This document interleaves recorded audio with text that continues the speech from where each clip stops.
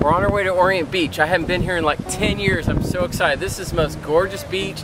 Beautiful expanses of white sand. Hardly anybody here. It's gonna be awesome. Come on. Okay, here we are on Orient Beach. We were here 10 years ago and none of this was here. Now it's uh, lots to do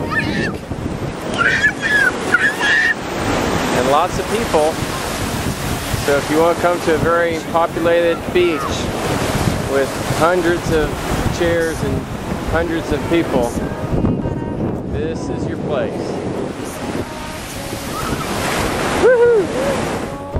Okay, we're leaving Orient Beach now, and it was not what it used to be, but it's got a lot of wonderful things to do.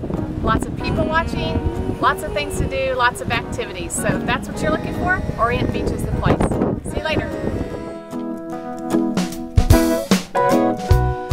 Okay, Orient Beach is nothing like I remembered, but it's very different. There are lots of people. When the cruise ships are here, there are a ton of people, lots of chairs, and everybody's trying to sell you something. So uh, if you want to experience kind of like Jamaica,